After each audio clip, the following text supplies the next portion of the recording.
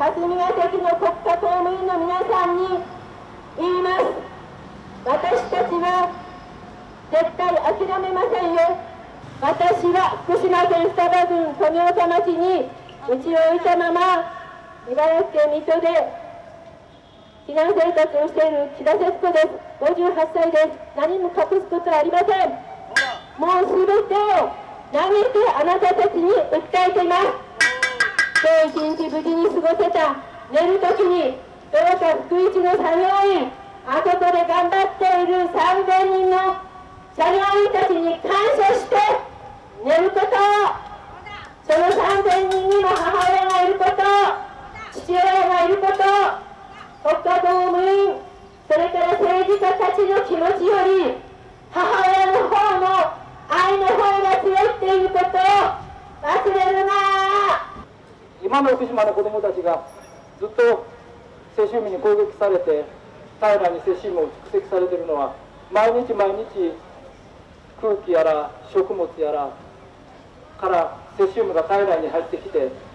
ずっと攻撃を続け攻撃されているから。ですだから一刻も早く子どもたちを安全な地域に避難させれば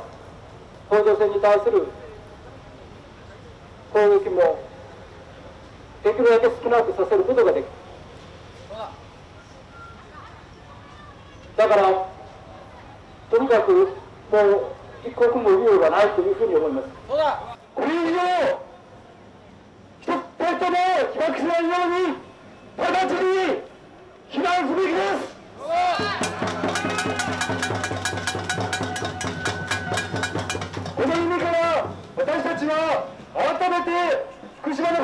の集団避難の即時実現を要求するものです。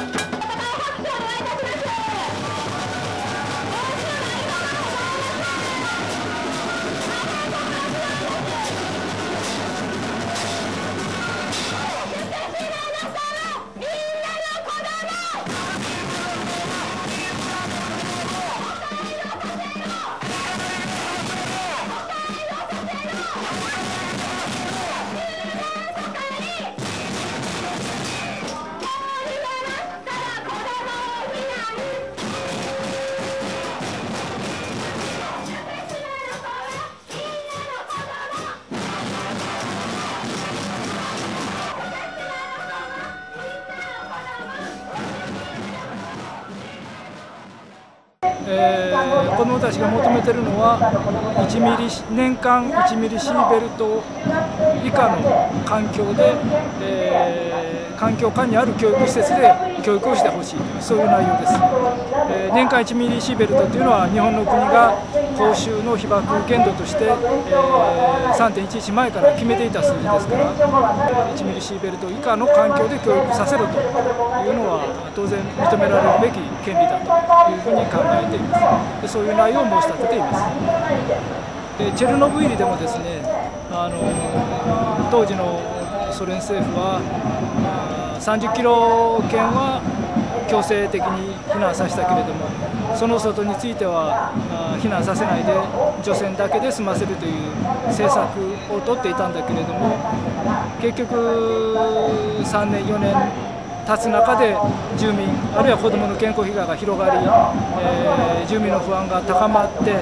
えー、1991年5年後には、えー、避難の方に政策転換せざるを得なかったで今の日本はやはりその後を追ってるんだと思います。